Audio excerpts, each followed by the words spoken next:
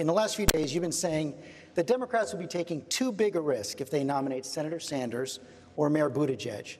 But they came out on top in Iowa. What risk did the Iowa Democrats miss?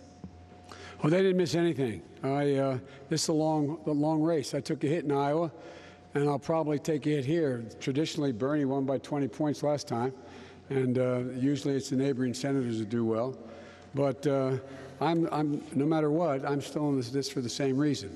I'm going to. We have to restore the soul of this country, bring back the middle class, and make sure we bring people together. And so uh, it's a simple proposition. It doesn't matter whether it's this one or the next. I've always viewed the first four encounters, two primaries and two caucuses, as the starting point.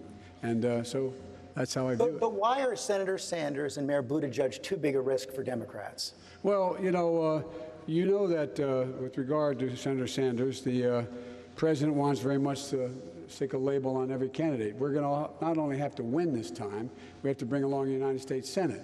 And uh, Bernie's labeled himself, not me, a Democratic socialist. I think that's the label that the president's going to lay on everyone running with Bernie if he's a nominee.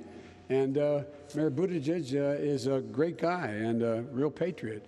He's a, he's a mayor of a small city who uh, has done some good things, but has not demonstrated he has the ability to, and we'll soon find out, to get a broad scope of support across the spectrum, including African Americans and Latinos.